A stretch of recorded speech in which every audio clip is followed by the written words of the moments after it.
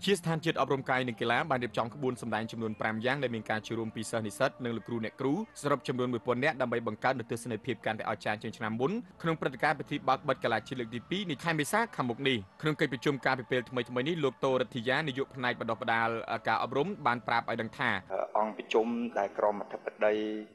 ជំទាវកឹមស្ថានីយ៍បានឯកភាពគ្នាថាឲ្យជ្រើសរើសមនុស្សក្រោម1000នាក់ ដើម្បីធ្វើកិច្ចការ5សូដូចខ្ញុំបានជម្រាបនៅក្នុងអង្គប្រជុំថា ទី1ពាក់ព័ន្ធនឹងចលនា32ដែលយើងតម្រូវគឺចំនួនមនុស្ស760នាក់ហើយនីតិវិធីយើងធ្វើបន្តបន្តទៀតអញ្ចឹងនៅក្នុងនោះសូទី2យើងយើងបានឯកភាពគ្នាដោយយកថាជាយោយើងមានផ្កាច័ន្ទសងខាងឥឡូវយើងបដូរមកផ្ការំដួលវិញអាហ្នឹងខ្ញុំនឹងរៀបចំធ្វើឡើងវិញទៀតហើយខាងក្រោមគឺ បរិជាណាចក្រកម្ពុជានេះសូទី2ដល់ពេលសូទី3ជាយោដដែលផ្ការរំដួលនៅដដែលប៉ុន្តែខាងក្រោមដូរមកជាសម្ដេចតេជោហ៊ុនសែនដល់អាសូទី4យើងប្រែរូបភាពនឹងទាំងអស់คล้ายទៅជាខាងខាងលើគឺអបអសាទរខាងក្រោមគឺការប្រកួតកីឡាជាតិលើកទី2នេះគឺជាសូទី4 សូទី4នេះគឺមានចំនួនមនុស្ស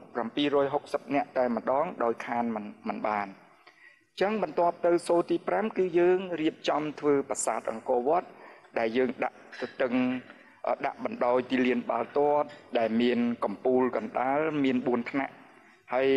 សងខាងដែលយើងមាន3ថ្នាក់ហើយនឹងប្រាសាទស្រី2ដែលយើងមាន2ថ្នាក់ចឹងប្រាសាទស្រីគឺយើងដាក់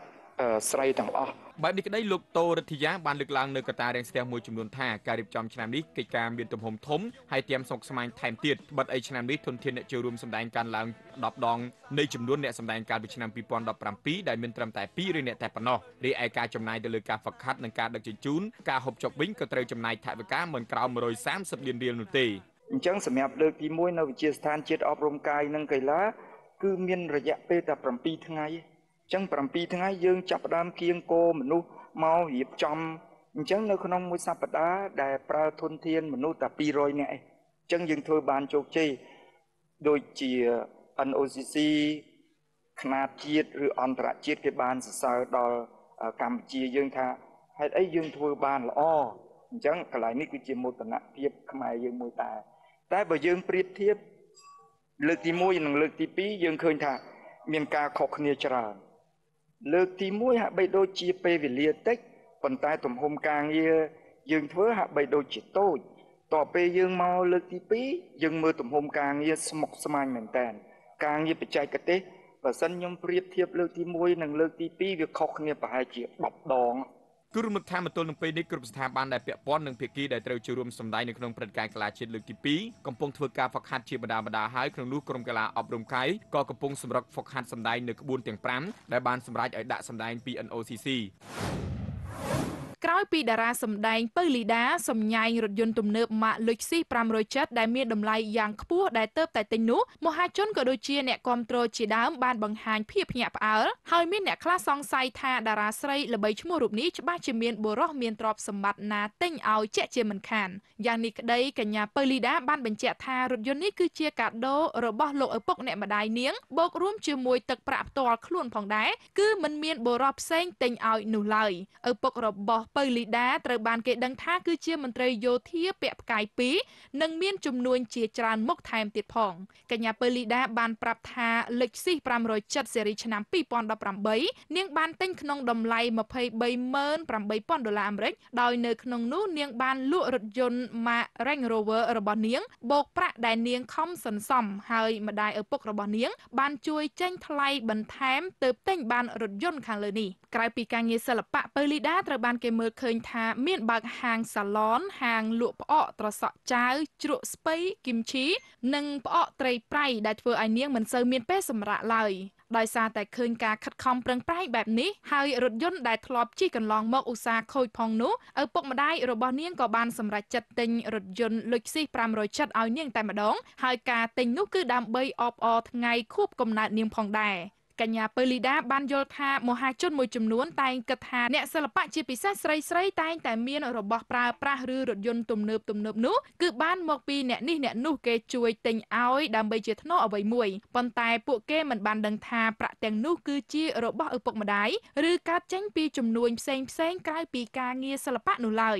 ពៅលីដាបានស្នើទៅមហាជនថាមុននឹងថាឲ្យអ្នកសិល្បៈរូបណាមួយនោះសូមតាមដានប្រវត្តិនិងការងារពួកគាត់ឲ្យបានច្បាស់លាស់ផងតែនាងទទួលស្គាល់ថាក្នុងចង្កោមអ្នកសិល្បៈមិនខ្វះទេមានអ្នកជួយឧបត្ថម្ភដូចជាទឹកប្រាក់ឡាន និងផ្ទះជាដើមប៉ុន្តែសម្រាប់រូបនាងផ្ទាល់គឺគ្មាននោះទេ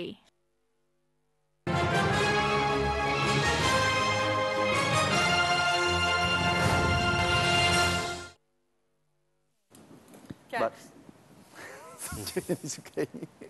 ចាអត់អីលោកចាលោកភវីចាបាទលើស្វាគមន៍លោកស្រីមកកាន់វគ្គទី3ជាបន្តបាទគឺជជែកទៅលើប្រធានបទតើសមាគមភាពយន្តកម្ពុជាបានចូលរួមចំណែកអ្វីគេខ្លះក្នុងការលើកស្ទួយវិស័យភាពយន្តនៅក្នុងប្រទេសកម្ពុជានេះតែមុនចូលដល់ការជជែកពិសានៅក្នុងវគ្គទី3នេះសូមអញ្ជើញលោកស្រីកញ្ញាទៅទស្សនានៅលក្ខខណ្ឌងាយៗក្នុងការទីយកទូទៅឡាជាមុនសិន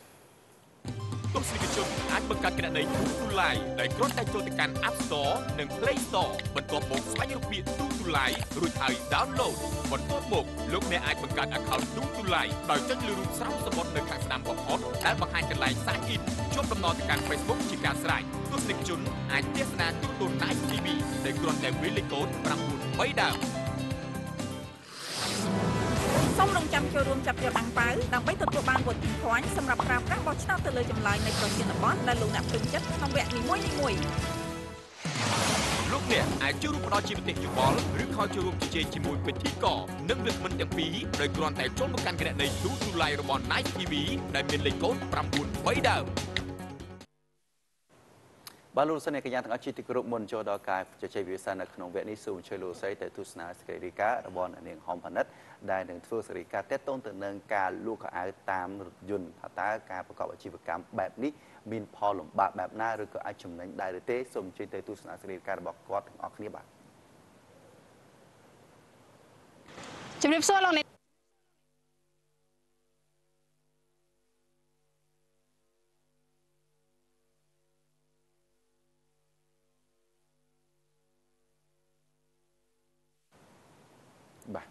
ចឹងយើងឃើញថាមានបញ្ហារ៉ាត់អួលពីសម្លេងបន្តិចនៅនេះសុខេចាឥឡូវនេះនេះខ្ញុំសូមជម្រាបជូនសំណួរសម្រាប់ធ្វើការបោះឆ្នោតបន្តិចសិនចាមុននឹងយើងឲ្យអ្នកដែលគាត់ធ្វើដំណើរកំសាន្តឬក៏ដើរកាត់ម្ដុំនេះអាចមើលពាក្យនៅទូមានដ៏ល្អនេះនេះខ្ញុំបានជួបអ្នកដំណើរម្នាក់គាត់ដើរកាត់នៅរូបសំណាក់របស់លោកតាក្រាំងុយចង់ដឹងថាតើ គាត់ស្គាល់លោកតាក្រាំងុយដែរទេហើយគាត់ធ្លាប់អានពាក្យទូមានព្រាមបដៅអ្វីខ្លះរបស់លោកតាយើងជួបជាមួយគាត់ចាជម្រាបសួរបងប្រុសចាសូមរំខានបងបន្តិចបាទបាទអឺសូមស្គាល់ឈ្មោះបន្តិចមកបាទខ្ញុំវឌ្ឍនាបងវឌ្ឍនាចាអឺបងសូមសួរថាបងមានអាជីពឬការងារជាអ្វីអឺខ្ញុំជាវិស្វករមួយនៅក្នុងការដ្ឋានជិតជិតនេះបាទចាបងជាវិស្វករអញ្ចឹងចង់ដឹងថាតើបងធ្លាប់អានពាក្យទូមានព្រាមបដៅរបស់លោកតាក្រាំងុយខ្ញុំធ្លាប់តែ គាត់ថាខ្ញុំមិនចាំច្រើនតែខ្ញុំថាខ្ញុំធ្លាប់ទៅអានរបស់គាត់ដែរតាក់ទងនឹងច្បាប់ប្រុសច្បាប់ស្រីគឺគាត់អានចងក្រងច្រើនហើយដូចខ្ញុំនិយាយហ្នឹងក៏ភាគច្រើនក៏នៅអនុវិទ្យាល័យឬវិទ្យាល័យយើងអានគ្រាន់តែវាជាការជួនរឿងជួនកាលអាចជាការច្រៀងលេងឬសូត្រលេងទេតែបើយើងយកមកធៀបនឹងសង្គមឥឡូវឬក៏យើងរស់នៅដល់ពេលឥឡូវគឺយើងដឹងថាការតាក់តែងមកគាត់ហ្នឹងគឺវាត្រូវច្រើនក្នុងការជីវិតរស់នៅរបស់យើងហ្នឹងចាបាទពាក្យទូមានរបស់គាត់មានប្រយោជន៍ទីខ្លះសម្រាប់ពួកយើងអឺ បើសិនទៅតាមដែលខ្ញុំគិតទៅពាក្យទូមានរបស់គាត់ហ្នឹងពីច្រើនគាត់តម្រង់ឲ្យមនុស្សធ្វើតែអ្វីដែលជាល្អដែលអ្វីដែលទទួលទទួលស្គាល់ហើយអ្វីដែលមិនល្អឬក៏ជាតាក់ទងនឹងលបែងតាក់ទងនឹងអីគាត់ឲ្យយើងជិះឆ្ងាយពាក្យពាក្យទូមានមួយណាដែលបងចាំជាប់ក្នុងចិត្តជាងគេអឺចំពោះកំណាប់ខ្ញុំអត់ចាំទេតែចំពោះសុភាសិតគាត់ធ្លាប់និយាយថា មានមានច្រើនតាក់ទងនឹងគាត់ដូចជាកោលឿនសឹកកស្រីល្អសឹកគូតអីអញ្ចឹងអញ្ចឹងហើយសម្ពុតក្នុងផ្នត់អីចឹងទូទៅខ្ញុំធ្លាប់ចាំចេះតែយកមកមកគិតពីច្រើនវាត្រូវនឹងការរស់នៅរបស់យើងមែនចាឥឡូវនេះគឺប្រមុខរដ្ឋាភិបាលយើងគឺត្រៀមនឹងបោះនៅសភៅពាក្យទូមានរបស់គាត់ប្រហែលជាងមួយសែនក្បាលចែកជូនដល់គ្រូបង្រៀនទូទាំងប្រទេសក៏ដូចជាប្រជាប្រដ្ឋដែលគាត់ចង់អានពាក្យទូមានទាំងអស់នោះបងគិតថាការចែកជូននេះវាល្អដែរអត់ខ្ញុំគិតថាល្អព្រោះគាត់អប់រំមនុស្សឲ្យទៅល្អកុំឲ្យធ្វើអំពើអ្វីដែលខុស ហើយទោះបីជាគាត់មិនចងក្រងឲ្យវាត្រូវច្បាប់តែអំពើល្អគឺវាអត់ខុសច្បាប់ទេអញ្ចឹងអាចអ្នកផ្សេងផ្សេងក៏ធ្វើតាមបានចា៎បាទចុងក្រោយបងមានអីផ្ដាំផ្ញើដល់ពលរដ្ឋដទៃទៀតឲ្យគាត់ព្យាយាមស្ដាប់នៅពាក្យទូមានឬក៏មើលនៅអ្វីដែលមានប្រយោជន៍សម្រាប់គាត់អីចឹងអឺជាចុងក្រោយខ្ញុំស្គាល់ខ្ញុំគិតថាខ្ញុំសុំថាបើសិនជាប្រជាជនខ្មែរឥឡូវជាយាមអានឲ្យបានច្រើនជាងការដែលយើងយកពេលទៅអត់ប្រយោជន៍របស់ផ្សេងផ្សេងព្រោះមួយម៉ារយៈហ្នឹងដើម្បីដែលខ្ញុំសង្កេតឃើញគឺគឺមាន smartphone ច្រើនអញ្ចឹងខ្ញុំមិនដឹងថាគាត់អានឬក៏គាត់មើលអីទេតែបើគាត់មានបោះពុំជាសភៅហើយយើងព្យាយាមអានអានបានច្រើនខ្ញុំគិតថាចេះបានច្រើនទាំងខ្ញុំទាំងគេក៏ខ្ញុំចង់ចង់អានដែរបាទអរគុណច្រើនបងប្រុសចាអរគុណជម្រាបលាបងចានេះគឺជាការលើកឡើងរបស់បងប្រុសម្នាក់គាត់ជាវិស្វករហើយយើងឃើញថាអឺ គាត់លើកឡើងគឺត្រីច្រើនមែនទែនសម្រាប់បងប្អូនប្រជាពលរដ្ឋយើងដែលគាត់យកពេលទំនេរមកការអាននៅសភៅជាពាក្យទូមានព្រាមបដៅរបស់អ្នកប្រាជ្ញខ្មែរយើងភាសាជាជាងយកពេលទៅចំណាយទៅលើបណ្ដាញសង្គមអឺធ្វើអីដែលអត់ប្រយោជន៍មួយចំនួនហើយយើងឃើញថាមានពាក្យទូមានឥឡូវនេះខ្ញុំចង់នាំលោកអ្នកនាងទៅមើលពាក្យទូមានដែលគេបានទៅសេនៅមុខរូបសំណាក់របស់លោកតាផ្ទាល់បន្តិចគឺជាពាក្យទូមានដែលវាមានន័យថាវាស៊ីសង្វាក់ទៅនឹងបច្ចុប្បន្នភាពនេះពេលឥឡូវនេះដែលពាក្យទូមាននោះបានលើកឡើងពាក់ព័ន្ធជាមួយនឹងលើកឡើងថាបើចង់ស្រាខ្លួនរៀនសូត្រឲ្យមួមឲ្យមួមឲ្យស្ទាត់កុំចេះស្ទាក់ស្ទើរល្ងីល្ងើឥតបត់បើចេះប្រកាសប្រាក់រត់តាមហៅអឺ ពាក្យពីរឃ្លាទៀតគឺពាក់សិតតែពាក់ព័ន្ធជាមួយនឹងអាជីពនឹងការរកទទួលទានក៏ដូចជាការជំរុញឲ្យប្រជាពលរដ្ឋយើងព្យាយាមស្វែងរកចំណេះវិជ្ជាដាក់នៅក្នុងខ្លួនហើយព្យាយាមឲ្យមានន័យថាធ្វើជាមនុស្សមានប្រយោជន៍នៅក្នុងសង្គមជាជាងទៅធ្វើអ្វីដែលនាំឲ្យសង្គមមានការអាប់អោនឬក៏នាំឲ្យសង្គមវិនាសចានេះជាពាក្យទូមាននៅមានពាក្យទូមានជាច្រើនទៀតដែល នៅបន្តិចទៀតនៅខាងមុខនេះគឺលោកអ្នកនាងនឹងបានមើលនៅក្នុងសភៅជាងមួយសែនក្បាលដែលប្រមុខរាជរដ្ឋាភិបាលនឹងបោះពុំផ្សាយចែកជូនដោយមិនគិតថ្លៃជូនដល់បងប្អូនប្រជាពលរដ្ឋជាពិសេសគឺគ្រូបង្រៀនដើម្បីយកទៅអប់រំក្មេងៗចំនួនក្រោយ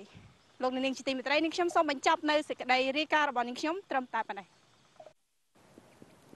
ចា៎ អរគុណអ្នកនាងហំផលិតសម្រាប់សេចក្តីរាយការណ៍នៅព្រឹកនេះឥឡូវនេះយើងចូលមកដល់សំណួរសម្រាប់ធ្វើការបោះឆ្នោតនៅក្នុងវគ្គជជែកដេញដោលនៅក្នុងវគ្គទី3នេះតើលោកអ្នកចូលចិត្តទស្សនាការចាក់បញ្ចាំងនៅរោងភាពយន្តឬក៏ការចាក់បញ្ចាំងនៅលើកញ្ចក់ទូរទស្សន៍ចំពោះចម្លើយហ្នឹងគឺក៏រោងភាពយន្តរីឯចម្លើយខហ្នឹងគឺទូរទស្សន៍លោកអ្នកអាចចុចទៅលើកញ្ចក់បន្ទុកបានហើយអាចធ្វើការបោះឆ្នោតទៅលើចម្លើយទាំងពីរនេះចា៎ បាទងាកមកកាន់វាគ្មិនរបស់យើងលោកឆៃបារ៉ាក្នុងនេះលោកជាប្រធានសមាគមផ្ទាល់តែម្ដងលោកយល់ឃើញយ៉ាងណាដែរចំពោះការចូលរួមដើម្បីធ្វើឲ្យមានការរីកចម្រើននៅក្នុងវិស័យភាពយន្តរបស់ប្រទេសកម្ពុជាសប្តាហ៍នេះអឺដោយ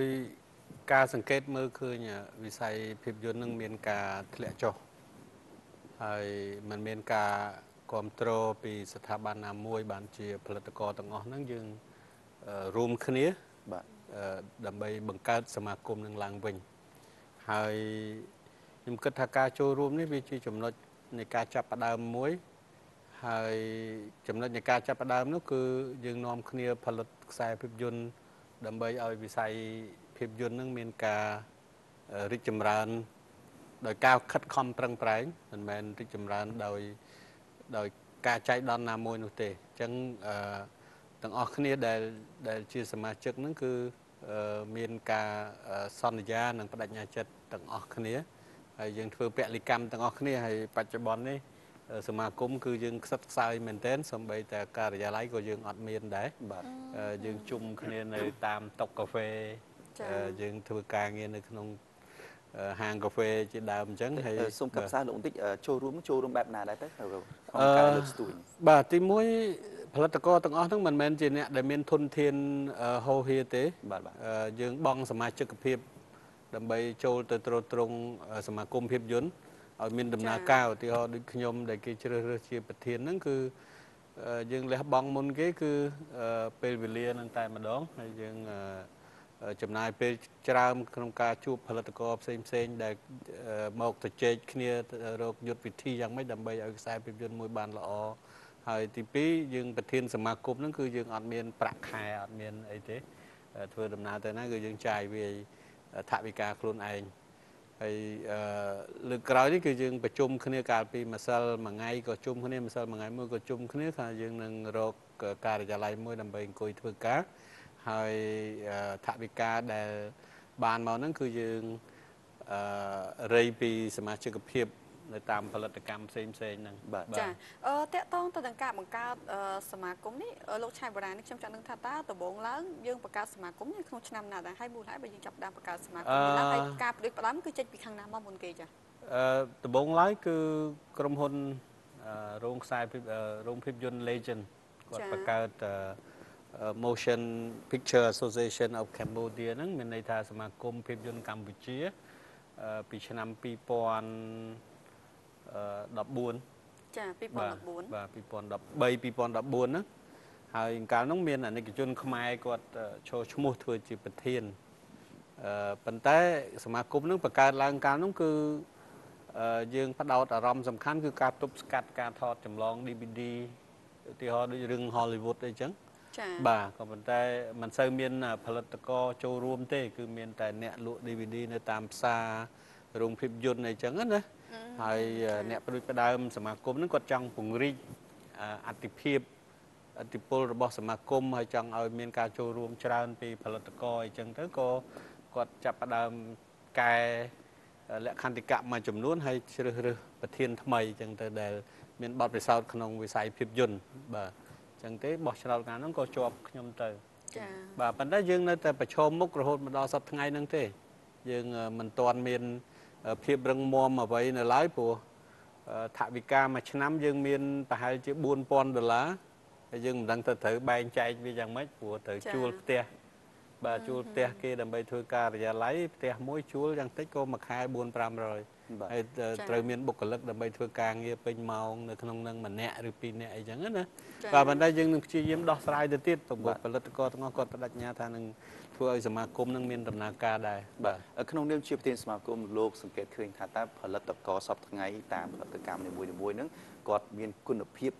បែបណាដែរហើយថាតើផលិតករទាំងនោះធ្លាប់បានឆ្លងកាត់សាលាភូមិន្ទវិចិត្រសិល្បៈដោយលោកដែរទេបាទអឺមានមួយចំនួនដែលគាត់ឆ្លងកាត់ តែមួយចំនួនទៀតហ្នឹងគឺផលិតតតគ្នាអឺអឺប្រហែលជា80%នៃផលិតករទាំងអស់អត់មានឆ្លងកាត់សាលាទេអូបាទត្រង់នេះហើយដែលយើងគិតថាវាជាហានិភ័យសម្រាប់វិស័យភាពយន្តដែរហើយយើងមានតែ20%ទេដែលឆ្លងកាត់សាលាប៉ុន្តែចរន្ត2ហ្នឹងវាដើរប្រច្រាស់គ្នាខ្ញុំកំពុងតែសិក្សាមើលថាហេតុអីបានជាយើងមិនមិនគុំធនធានមនុស្ស ហើយនឹងធនធានថវិកាដើម្បីផលិតខ្សែភាពយន្តមួយឲ្យមានគុណភាពឧទាហរណ៍ថាផលិតករមួយគាត់គាត់ហ៊ានផលិតអស់តែ30000ទេបាទតែគុណភាពហ្នឹងគឺมันអាចទទួលយកបានប៉ុន្តែផលិតករមួយទៀតក៏បដិញ្ញាថាអញ្ចឹងដែរប៉ុន្តែភាពយន្តមួយដែលល្អគឺអាចទាមទារថវិកាពី50000ទៅ70000ដុល្លារហេតុអីបានជាផលិតករទាំងពីរនឹងអត់ចូលរួមគ្នាដើម្បីផលិតខ្សែភាពយន្តតែមួយហើយមានគុណភាពត្រង់ហ្នឹងឯងវាជាបញ្ហាអញ្ចឹងណាបាទ តើតើក្នុងសមាគមរបស់លោកនេះមានក្រុមឬក៏គេហៅថាជាអ្នកវាតម្លៃនឹងការឲ្យបន្ទុកទៅដល់ភាពយន្តដែលមានគុណភាពដោយផលិតករនេះអាចទទួលបានរង្វាន់ឬការលើកទឹកចិត្តដែរទេយើងយើងអត់អត់អត់ទាន់មានទេប៉ុន្តែយើងជជែកគ្នាក្រៅផ្លូវការនៅពេលដែលព្រឹត្តិការណ៍អ្វីកើតឡើងឬក៏ភាពយន្តអ្វីមួយកើតឡើងយើងហៅតែ key person 3នាក់ទៅ4នាក់ដែលមាន skill នៅក្នុងភាពយន្តមានបទពិសោធន៍ហ្នឹងគឺយើងទៅចែកគ្នាមើលពីពីភាពខ្លាំងភាពខ្សោយនៃខ្សែភាពយន្តមួយហ្នឹងបាទបាទហើយនឹងធ្វើព្យាករតើខ្សែភាពយន្តមួយហ្នឹងអាចទទួលបានជោគជ័យឬអត់ហើយបើជោគជ័យជោគជ័យទៅលើកត្តាអ្វីហើយបើបរាជ័យបរាជ័យទៅលើកត្តាអ្វីដើម្បីយើងយកទិន្នន័យទាំងអស់ហ្នឹងយកការវិភាគទាំងអស់ហ្នឹងទៅធ្វើការបកស្រាយពន្យល់ទៅដល់ផលិតករផ្សេងផ្សេងបើសិនជាមានសិក្ខាសាលាបាទ ហ្នឹងហើយដើម្បីឲ្យគាត់សិក្សាស្វែងយល់ពីចំណុចខ្សោយខ្លួនឯងពីចំណុចខ្លាំងខ្លួនឯងកុំឲ្យតែមោទនភាពចេះតែដើរទៅអឺទៅមុខដោយគ្មានគិតថាឧបសគ្គវានឹងកើតឡើងមោទនភាពនិយមជោនិយមអានេះជាជាបញ្ហាគ្រោះថ្នាក់យើងគាត់អត់គិតពីប្រកបនិយមទេ គាត់គិតតែពីមោទនភាពនិយមឃើញមហាជនគ្រប់គ្រងឧទាហរណ៍អញ្ចឹងអាហ្នឹងគឺជាបញ្ហាគ្រោះថ្នាក់អ្វីដែលអញផលិតគឺសិតតែជាល្អទាំងអស់អ្នកអ្នកទាំងអស់គ្នាមិនមានសិទ្ធិតិចទៀននៅក្នុងស្នាដៃរបស់ខ្ញុំអានេះគឺជាឧបសគ្គគឺជាបរាជ័យនៅក្នុងពិភពលោកការផលិតភាពយន្តគេហៅមាន critic ណាគឺអ្នកតិចទៀនភាពយន្តគេចង់ស្ដាប់អ្នកតិចទៀនភាពយន្តណាបាទពីព្រោះអ្នកតិចទៀនភាពយន្តគឺអ្នកដែលមិនមែនអ្នកផលិតភាពយន្តទេតែ អ្នកដែលយល់ពីភាពយន្តបានស៊ីជម្រៅហើយនិយាយអត់ខុសដែលយើងអាចយកមតិយោបល់ហ្នឹងយកមកកែប្រែនៅក្នុងស្នាដៃក្រោយៗប៉ុន្តែផលិតករខ្មែរមួយចំនួនអត់ទទួលយកអាហ្នឹងទេអានេះជាជាបញ្ហាគ្រោះថ្នាក់ធំមែនទែនបាទអរគុណច្រើនលោកឆៃបរាឥឡូវយើងងាកទៅស្ដាប់តើតូនទៅនឹងការលើកឡើងរបស់សិល្បករសិល្បករនីមួយចំនួនដែលក្រុមការងាររបស់យើងបានសម្ភាសតើតូនទៅនឹងវិស័យភាពយន្តនៅក្នុងប្រទេសកម្ពុជា ចំពោះរឿងដែលពុកម៉ែបងប្អូនដែលគាត់ចាប់អារម្មណ៍ពីច្រើនគឺរឿងមនោចេតនាកំសត់អញ្ចឹងបងពេលដែលចាក់តាមស្ថានីយទទួលអញ្ចឹងទៅគឺគាត់តាមដានក៏ចូលចិត្តដែរពេលយើងតាណាមណាហ្នឹងគាត់ចេះលួចតាមសួរអញ្ចឹងថាឥឡូវរឿងហ្នឹងឃើញក្មួយឯងសំដែងរឿងនេះអឺអ៊ំឃើញក្មួយឯងឈុតហ្នឹងដល់កន្លែងអត់ថតថាឈុតនៅផ្ទះ តិចតិចក្មួយឯងត្រូវធ្វើដំណើរទៅចំការហើយមានអីតទៅទៀតនេះគាត់តាមសួរតាមសញ្ជេកសួរពីបញ្ហាហ្នឹងបំពុគាត់ចង់ដឹងថាសាច់រឿងហ្នឹងវាមានតាណាតណៃទៀតអញ្ចឹងនៅរាល់ថ្ងៃនេះសារភាពយន្តខ្ញុំកំពុងតែចាក់ផ្សាយរឿងកំឡោះសុខស្នេហ៍ថាកំបំឡប់ដែរអញ្ចឹងពុកម៉ែបងប្អូននិយាយតាដែលគាត់បានគ្រប់គ្រងនោះគាត់ចេះតែសួរខ្ញុំខ្ញុំខ្ញុំចេះប្រាប់គាត់ថា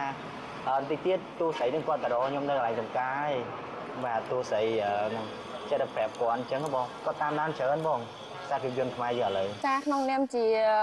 ខ្ញុំជាតារាសម្ដែងម្នាក់ខ្ញុំចង់ឲ្យទស្សនិកជនទាំងអស់មកគាំទ្ររឿងខ្មែរខ្ញុំនឹងធ្វើអីដែលថាលះបង់សិល្បៈមិនលះបង់អីទេ គឺលះបង់ដូចជាគេចង់ឲ្យយើងសម្ដែងអីអឺឈុតឆាកណាដែលដួលត្រូវដួលដួលត្រូវឈួតឈួតត្រូវនិយាយទៅត្រូវបុកបុកខ្លះអញ្ចឹងទៅអាហ្នឹងដើម្បីសិល្បៈខ្មែរ ចាអ្វីដែលសំខាន់ជាងហ្នឹងទៀតគឺខ្ញុំចង់ឲ្យដល់ពួកគាត់នៅក្នុង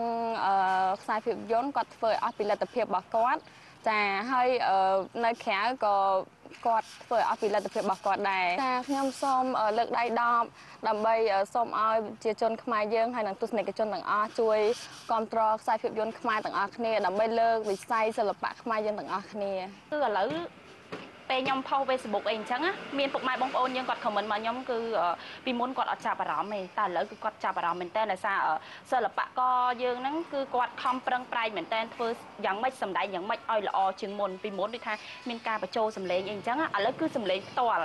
ពេលអញ្ចឹងគាត់ខំប្រឹងទាំងខ្ញុំទាំងគេគឺខំប្រឹងទាំងអស់គ្នាឲ្យលេងយ៉ាងម៉េចឲ្យល្អអញ្ចឹងភាគច្រើនឥឡូវពុកម៉ែបងប្អូនគាត់ថារឿងខ្មែរយើងលេងល្អច្រើន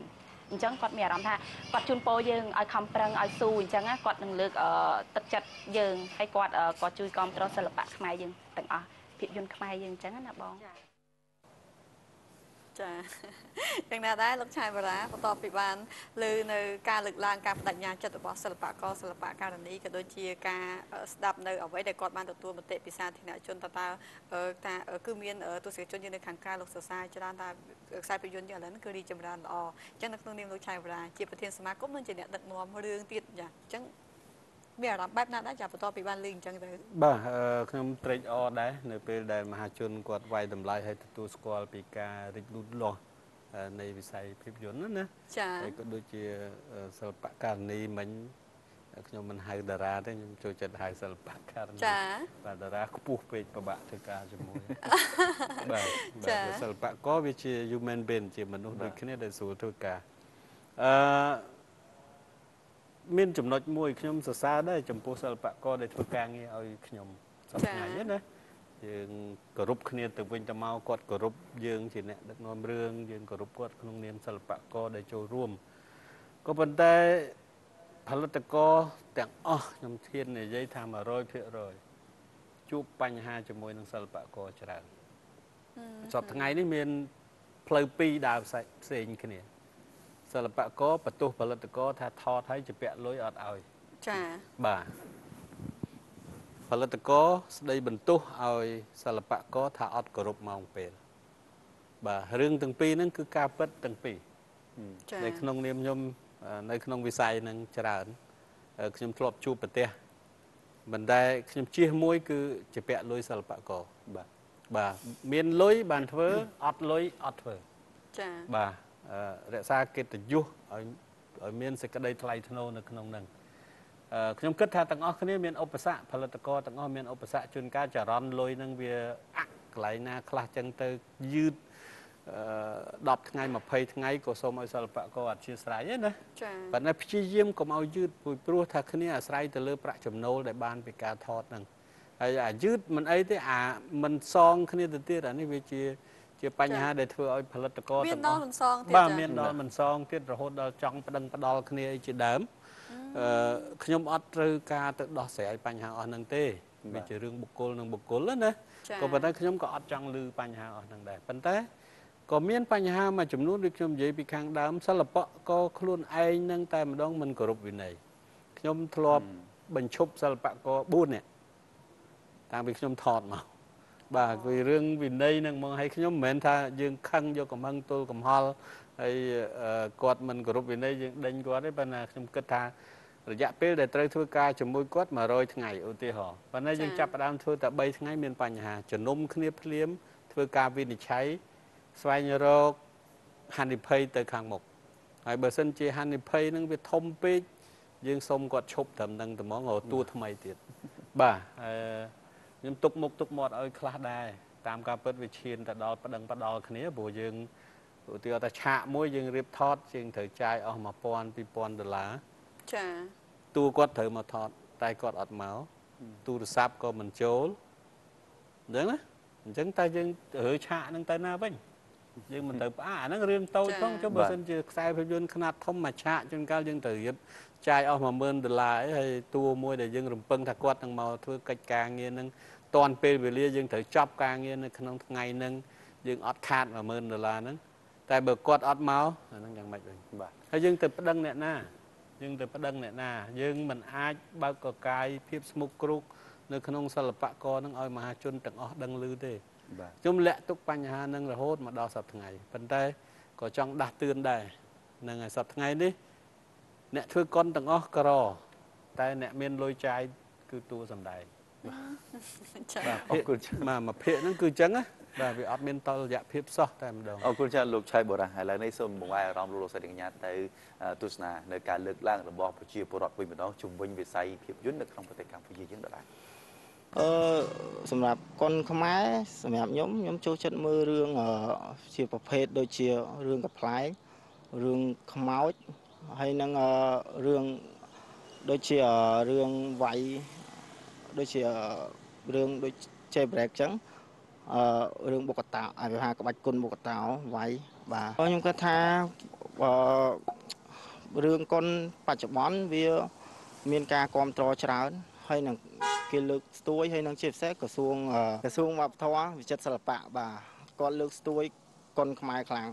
ហើយនឹងជាពិសេសបំផុត គឺប្រជាពលរដ្ឋខ្មែរគាត់លើកស្ទួយគុណខ្មែរនាពេលបច្ចុប្បន្ននេះសម្រាប់វិស័យសិល្បៈខ្ញុំសង្កេតឃើញថាបើធៀបនឹងវិស័យភាពយន្តបរទេសនៅក្នុងស្រុកខ្មែរយើង គឺភាពយន្តខ្មែរយើងគឺបើរឿងភាគវិញគឺលេងចាថាលេង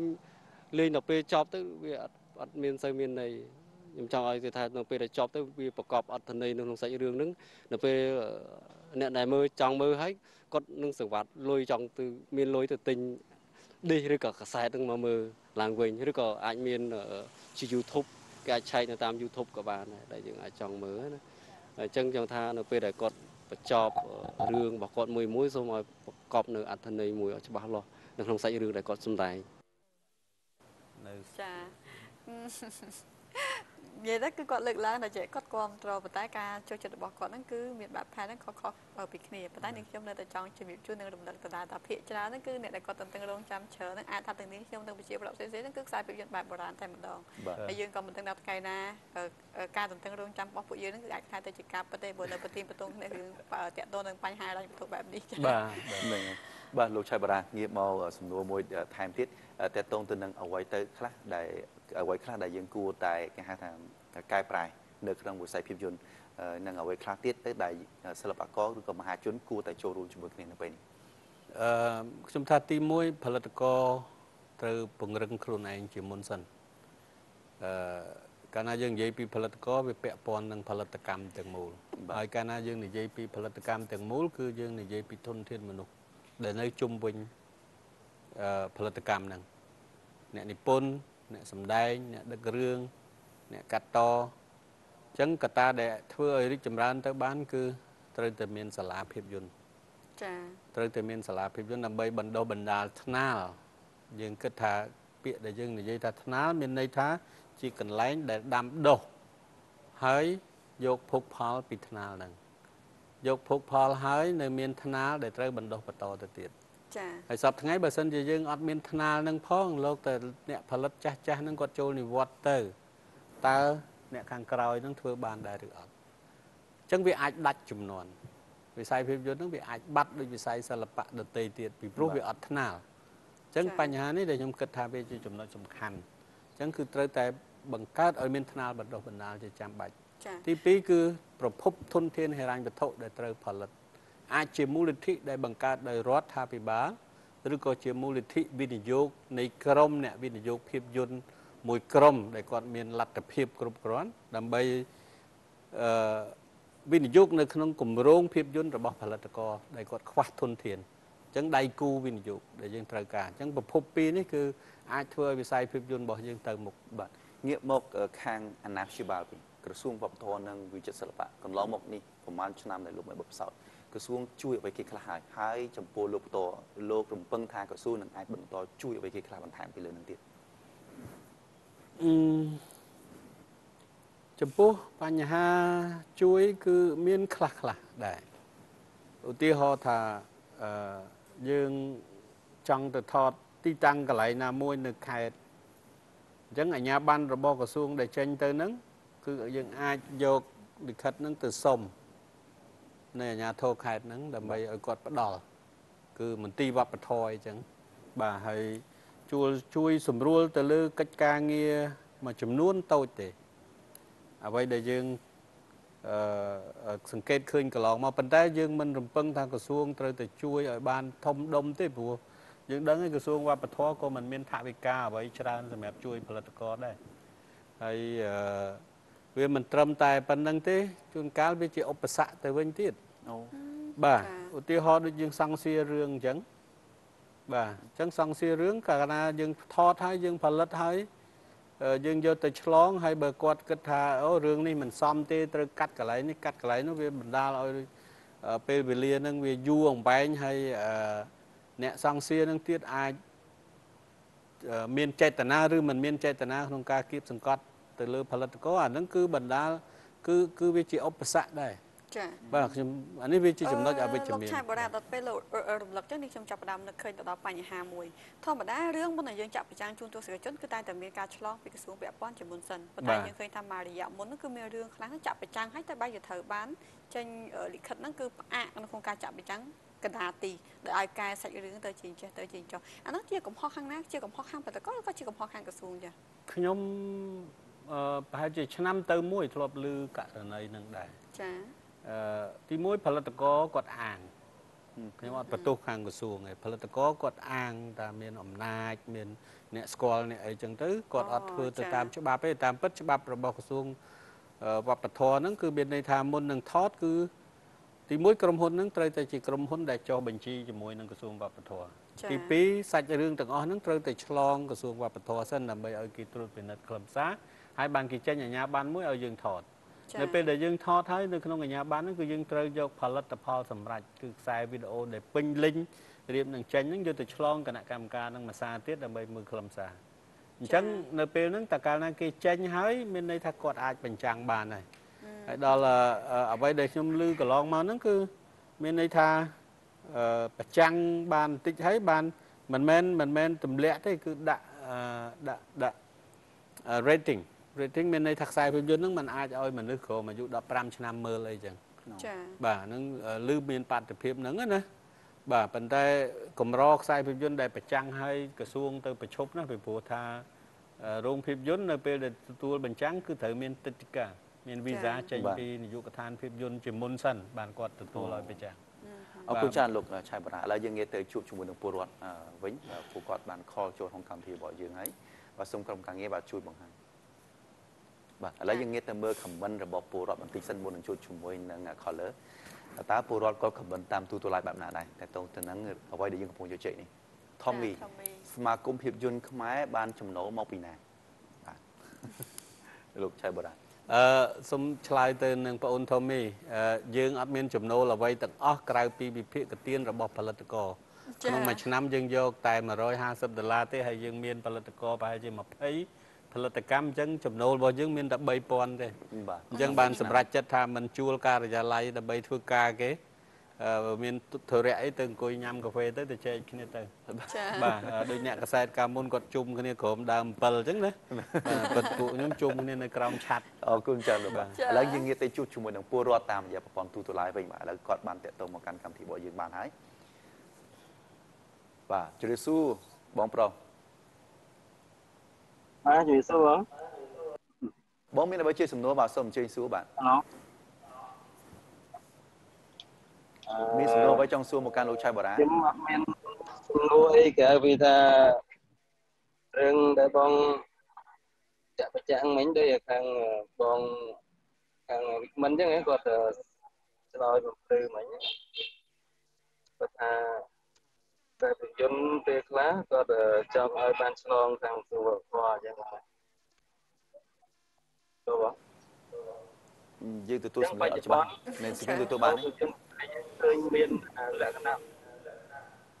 ចាប្រហែលជាយើងអឺអឺមិនអាចឆ្លើយឆ្លើយជាមួយគាត់ប៉ុន្តែអឺនេះខ្ញុំសូមរំលឹកលោកឆៃបរាបន្តិចតទៅនឹងការខមមិនរបស់ទស្សនិកជនកាលពីវគ្គទី1នោះដូចជារឿងផ្លិចតទៅនឹងបញ្ហាពុនវិញយ៉ាងណាលោកឆៃបរាចាអឺអឺ បើនិយាយពន្ធគឺពាក់ព័ន្ធនឹងច្បាប់ពន្ធដែរកាលណាយើងនិយាយពីច្បាប់ពន្ធដែររាល់ក្រុមហ៊ុនទាំងអស់ដែលចុះបញ្ជីនៅក្រសួងពាណិជ្ជកម្មនិងអគ្គនាយកដ្ឋានពន្ធដារគឺត្រូវមានភារកិច្ចបង់ពន្ធចា៎នៅក្នុងហ្នឹងផលិតកម្មគឺចាត់ទុកជាក្រុមហ៊ុនមួយដែរបាទដែលមានភារកិច្ចត្រូវតែប្រកាសពន្ធជារៀងរាល់ខែហើយពន្ធដែលត្រូវជាប់ហើយដែលត្រូវប្រកាសហ្នឹងគឺមានពន្ធជួលការិយាល័យពន្ធប្រាក់បៀវត្សរបស់បុគ្គលិកចា៎ពន្ធលើប្រាក់បៀវត្ស បុគ្គលិកពេញម៉ោងនិងនិងអឺអឺក្រៅម៉ោងចា៎បាទហើយនឹងការចំណាយផ្សេងផ្សេងទៅលើសេវាអញ្ចឹងនៅក្នុងបញ្ហាពន្ធដារហ្នឹងគឺជាប់ទាំងអស់ហើយយើងអឺធ្វើការរាយមុខពន្ធដារហ្នឹងមកវិញគឺមានអឺបុគ្គលិកពេញម៉ោងនៅក្នុងផលិតកម្មមានអ្នកនិពន្ធមានអ្នកដឹកនាំរឿងមានតួសម្ដែង មានការចំណាយទៅលើសេវាកម្មអាហ្នឹងគឺគេច្បាប់ពន្ធដារគឺយក15%ហ្នឹងហើយហើយផលិតផលសម្រាប់ប្រចាំងនៅរោងភាពយន្តគឺមានពន្ធកាត់ទុក15%ទៀតនេះគឺជាភារកិច្ចរបស់ផលិតកម្មឬក៏ក្រុមហ៊ុនទាំងអលោកស់ឆៃបរាចាលំបាកខ្លាំងទេសម្រាប់អឺបញ្ហាសប្តាហ៍ថ្ងៃនេះខ្ញុំថ្លែងអំណរគុណដល់អគ្គនាយកដ្ឋានពន្ធដារដែរដោយសារគាត់មិនទាន់ចាប់ផ្ដើមអនុវត្តទេគ្រាន់តែជាការជូនដំណឹងបាទគ្រាន់តែជាការជូនដំណឹងហើយគេនឹងចាប់ផ្ដើមធ្វើនៅពេលដែលលិខិតរបស់សម្ដេចនាយករដ្ឋមន្ត្រីផុតសុពលភាពនៅខែ5 2018និយាយពីការអនុគ្រោះពន្ធចា2បាទខែ3ខែខាងមុខទៀតបាទហើយបើសិនជាចាប់ផ្ដើមអនុវត្តទេខ្ញុំគិតថាផលិតកម្មទាំងអស់ត្រូវបិទទ្វារទាំងអស់តែម្ដងបាទព្រោះអឺចំណាយធ្ងន់មែនតើឧទាហរណ៍ថាសំបីតែអ្នកនិពន្ធក៏គាត់លែងហ៊ាននិពន្ធទៀតដែរបាទព្រោះអឺគាត់យូរយូរគាត់និពន្ធបានម្ដងហើយលក់សាច់រឿងឲ្យយើងត្រូវជាប់ពន្ធព្រោះក្រុមហ៊ុនថាបើទិញបើទុកពន្ធគឺអ្នកទទួលកម្រៃ សិល្បករចុះកិច្ចសន្យាជាមួយយើងឧទាហរណ៍ថាមួយរឿងហ្នឹងគាត់យក2000អញ្ចឹង2000វាត្រូវជាប់ប្រាក់ពន្ធបាទជាប់ប្រាក់ពន្ធហើយនៅក្នុងកិច្ចសន្យាយើងថាជាបន្ទុករបស់សិល្បករអញ្ចឹងសិល្បករគាត់ថាខ្ញុំអត់បង់ទេអាហ្នឹងជាបញ្ហាណាធ្លាក់ទៅលើក្រុមហ៊ុនទៀតដដែលបាទធ្លាក់ទៅលើក្រុមហ៊ុនព្រោះអឺគណៈយុគឋានពន្ធថាបានបញ្ជាក់ឲ្យថាក្រុមហ៊ុនទទួលបន្ទុកប្រមូលពន្ធឲ្យអគ្គនាយកដ្ឋានពន្ធដែរ អញ្ចឹងយើងមានទួនាទីប្រមូលប៉ុន្តែបើគាត់អត់បង់ឲ្យយើងថាយើងបានណាចានេះយើងមិនគឺជាចេញលុយខ្លួនឯងបើយើងអត់ចង់ចប់បើយើងចង់បន្តអាជីវកម្មយើងត្រូវតែបង់ពន្ធជំនួសចាហ្នឹងហើយដូចពន្ធជួលកន្លែងជួលឡាននេះគឺ15%ថតកុនហើយយកទៅប្រចាំងនៅក្នុងរោងគឺមានច្បាប់មួយគឺពន្ធកាត់ទុកពន្ធកាត់ទុកហ្នឹងគឺកាត់ទុក15%ប៉ុន្តែពន្ធហ្នឹងអាច អាចទូទាត់នៅចុងឆ្នាំចុងគ្រាជាមួយនឹងពន្ធលើប្រាក់ចំណេញអីចឹងទៀតណាណាចាអញ្ចឹងវាស្មុគស្មាញណាស់អញ្ចឹងបានខ្ញុំអឺទៅសេលិខិតមួយស្នើសុំតាទៅសម្ដេចអគ្គសេនាបតីតេជោហ៊ុនសែនតាមរយៈអឺក្រសួងវប្បធម៌សូមឲ្យមេត្តាលើកលែងពន្ធទៅលើវិស័យភាពយន្តហ្នឹងរយៈពេល10ឆ្នាំដូចវិស័យកសិកម្មក៏ទទួលការអនុគ្រោះពន្ធពីរដ្ឋាភិបាលវិស័យអប់រំក៏ទទួលការអនុគ្រោះ ហើយនៅពេលមួយដែលវិស័យទាំងអស់ហ្នឹងមានភាពរឹងមាំហើយចាយើងសប្បាយចិត្តនឹងនឹងនឹងបងពន្ធជូនរដ្ឋចាចាប់បាទអវានុជាវត្តកទៅតតាមបផ្លូវកិច្ចច្បាប់បាទចុះប៉ុន្តែចាសប្តាហ៍ថ្ងៃនេះយើងយើងអត់ទាន់រឹងដៃរឹងជើងនៅឡើយទេហើយបើសិនជាមានទំងន់មកទៀតបន្ទុកមកទៀតលើបញ្ហាពន្ធដារហ្នឹងខ្ញុំគិតថាយើងធ្វើដំណើរទៅមុខទៀតឡើងរួចហើយចាបាទហើយអញ្ចឹងវាជួបវាជួបហានិភ័យបាទធ្វើឲ្យវិស័យហ្នឹងវាវាផុតរលត់បើសិនជា ពន្ធដារត្រូវបានអនុវត្តបាទលោកឆៃបរាជាចុងក្រោយមានអីជាការប្រាំផ្ញើឬក៏ជាមតិរបស់ចុងក្រោយបាទសូមជឿខ្ញុំនៅតែព្យាយាមតស៊ូផលិតខ្សែភាពយន្តព្រោះអឺវាជាជំនាញមួយដែលខ្ញុំស្រឡាញ់ចូលចិត្តដែរចា៎ហើយខ្ញុំគិតថាវាមានសារៈសំខាន់សម្រាប់សង្គមខ្មែរអឺវិស័យភាពយន្តវាជា ស្ពាននាំសារទៅដល់ប្រជាពលរដ្ឋគឺសារអប់រំចា៎បាទអញ្ចឹងទេវាមានសារៈសំខាន់ហើយ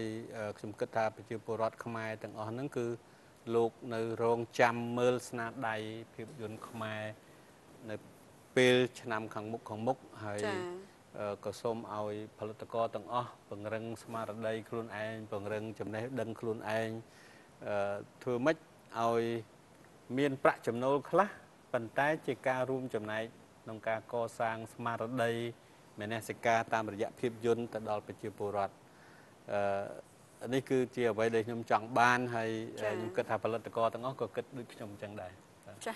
អរគុណមែនតើលោកឆាយបរាចាលោកនាងជាទីគោរពនេះសូមបង្ហាញអំពីលទ្ធផលនៃសំណួរដែលនេះខ្ញុំបានជម្រាបជូនរួមទាំងចម្លើយសម្រាប់ការបោះឆ្នោតដែលជម្រាបជូនពីខាងដើមនេះតើលោកអ្នកជួយចិត្តទស្សនាខ្សែភាពយន្តនៅក្នុងរោងភាពយន្តឬក៏ទូរទស្សន៍ចា ដែលនេះលទ្ធផលទទួលបានហើយចាគឺ50 50%ម្នាក់សម្រាប់ការបោះឆ្នោតគ្រប់តអរលោកឆៃបរាសាតម៉ោរបស់យើងគឺបានដល់ពេលសម្រាប់ទៅហើយនេះខ្ញុំនឹងលោកពវីបាទបាទសូមអរគុណចាសូមអរគុណសូមអរគុណលោកឆៃបរាបានចំណាយពេលនៅក្នុងការចែករំលែកនៅអ្វីដែលជាបញ្ហាផលលំបាកតែខាងសមាគម ប្រឹក្សាភាពយន្តកំពុងតែប្រឈមនាពេលបច្ចុប្បន្នហើយយើងក៏សង្ឃឹមថាអ្វីដែលជាការស្នើសុំរបស់លោកឆៃបូរ៉ាទៅការសម្ដែងកែមហាសេនាបតីតេជោដែលជាប្រមុខរាជរដ្ឋាភិបាលកម្ពុជានៅក្នុងការសុំអនុគ្រោះពន្ធរយៈពេល10ឆ្នាំខាងមុខនេះនឹងទទួលបានពលឺសម្រាប់ធ្វើការឆ្លើយតបព្រោះថាបើមិនដូចនោះទេបញ្ហាវិស័យខ្សែភាពយន្តនៅក្នុងប្រទេសកម្ពុជាយើងគឺនឹងដល់កម្រិតមួយដែលយើងថាប្រកាសអាសន្នតែម្ដងចាអរគុណលោកអ្នកជាទីគោរពខណៈនេះយើងខ្ញុំទាំងអស់គ្នាសូមពេលសម្រាប់បន្តិចសិន អរគុណវគ្គមង្គលភាពនាពេលបន្តិចទៀតនេះលោកអ្នកនាងនឹងបានទស្សនាប្រវត្តិរបស់ម្ចាស់សិប្បកម្មលៀងលេងដែលមិនពូកែសិក្សាតែខ្លាំងក្លាផ្នែកជំនួយ ព្រឹត្តិការណ៍តាំងពីពណ៌ពាណិជ្ជកម្មអន្តរជាតិចម្រុះកម្ពុជាដល់ធំប្រចាំឆ្នាំ2018រៀបចំដោយក្រុមហ៊ុនវ៉ាងនីគ្រប់នឹងចាប់ផ្ដើមនៅថ្ងៃទី16ដល់ថ្ងៃទី18ខែមីនាឆ្នាំ2018នៅមជ្ឈមណ្ឌលពិព័រណ៍កោះពេជ្រដែលមានការចូលរួមពីសហគ្រាសធំធំជាង200ក្រុមហ៊ុនមកពីប្រទេសចិនសូមអញ្ជើញចូលរួមព្រឹត្តិការណ៍ដ៏អស្ចារ្យនេះនៅថ្ងៃទី16ដល់ថ្ងៃទី18ខែមីនាឆ្នាំ2018នៅមជ្ឈមណ្ឌលពិព័រណ៍កោះពេជ្រឬអាចទំនាក់ទំនងទៅកាន់លេខទូរស័ព្ទ069 85 85 15 ពេលព្រលឹមក្រោកពីដំណេកគឺជាពេលសំខាន់បំផុតសម្រាប់ផ្ដើមថ្ងៃថ្មីរបស់ខ្ញុំនិងគ្រួសារខ្ញុំដូចនេះទឹកដែលមានសារៈប្រយោជន៍សម្រាប់សុខភាពគឺជាជម្រើសល្អបំផុតសម្រាប់យើងទាំងអស់គ្នាខ្ញុំសូមណែនាំទឹកពិសាបរិសុទ្ធ Icelandic Glycol ដែលមានសារធាតុរ៉ែខ្ពស់ Alkaline កម្រិតរហូតដល់ pH 8.4ដែលមានសារៈប្រយោជន៍ល្អបំផុតសម្រាប់សុខភាពជួយបំបត្តិភាពនឿយហត់បង្កើនអុកស៊ីសែនក្នុងឈាមធ្វើឲ្យឆ្អឹងរឹងមាំជួយរំលាយអាហារកាត់បន្ថយជាតិអាស៊ីតនិងជួយពង្រឹងប្រព័ន្ធការពារ Icelandic Glycol ជាជំរើសល្អបំផុតសម្រាប់ជីវិតភេសជ្ជៈពឹងកម្លាំង Hot Six ជាភេសជ្ជៈដែលមានគុណភាពខ្ពស់ជួយដល់សុខភាពលោកអ្នកពិសាភេសជ្ជៈពឹងកម្លាំង Hot Six ជំនួយដល់សុខភាពលោកអ្នកកាត់បន្ថយសភាពកាត់ stress មានវីតាមីនពិសេសនិងធនធានទាំង6ប្រភេទមកពីជំនាញពិភពលោក Hot Six បានមកដល់កម្ពុជាហើយ